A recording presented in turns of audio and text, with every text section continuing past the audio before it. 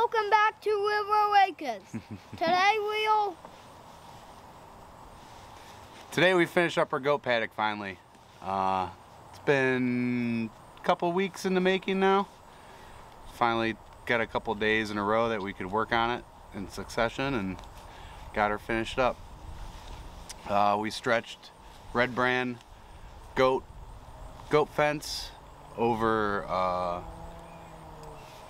uh, fence posts. We use six inch posts for our corners and ends and gates with four inch bracing and then we put four inch posts for our spanner posts in between our corners that we stretch. We used three bags of concrete per corner post and then for the secondary corner posts we used two bags of concrete those are 50 pound bags um, yeah. Then we made our own stretcher and stretched the fence and stapled her on and that's pretty much it. Got the gates on. The gates are nice. Put the gates on using uh, bolt through uh, hinges or uh, pins I mean rather say. 5 eighths uh, hinge pins for gates. I like the uh, the bolt through versions better than the, the screw in types because you can adjust them in and out as opposed if your gates start sagging or because the goats like to stand on the gates and stuff so it's nice to have that adjustment in them they like it.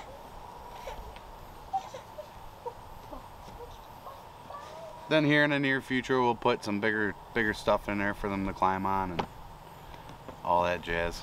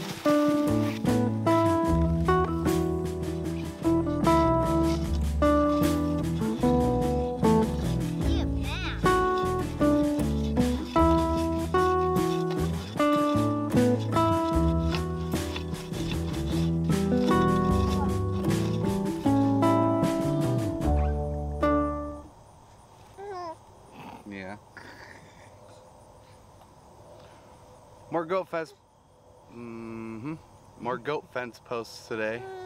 Uh, hopefully we can get all the posts set so we can stretch the fence tomorrow. Yep. Never ending project. Yeah. All right.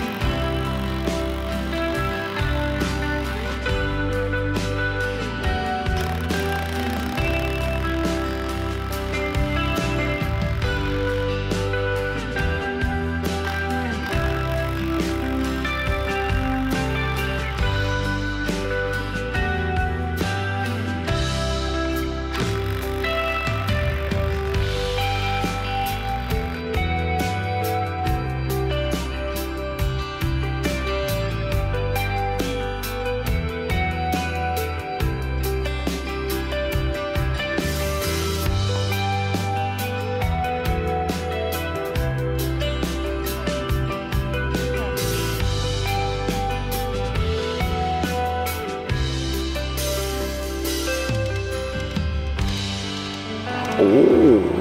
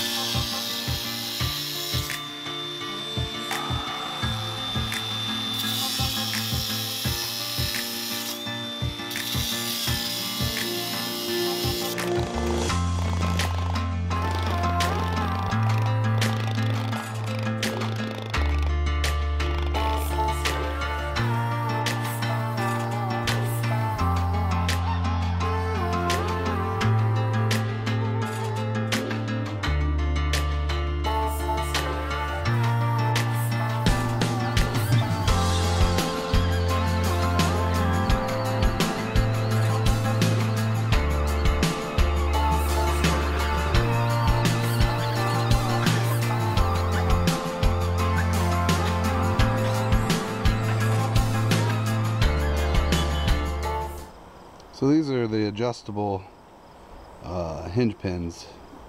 As you can see, they're just drill through type, drill through the post.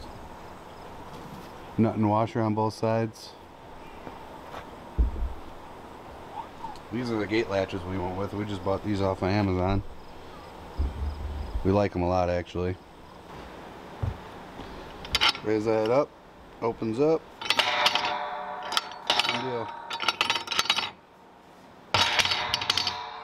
Much nicer than chains, that's for sure.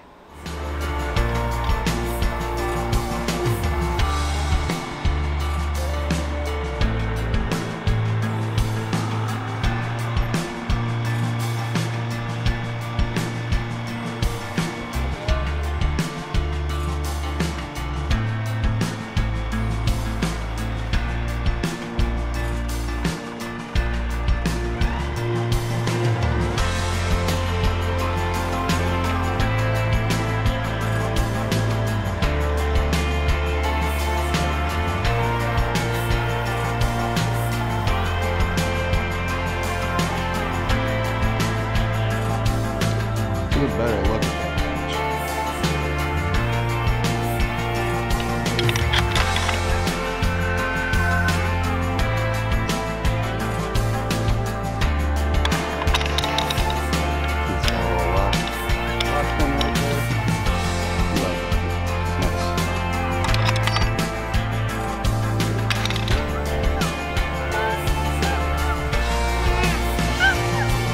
Yeah.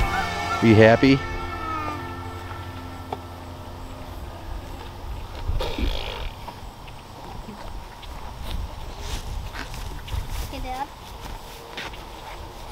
Say, thanks for watching.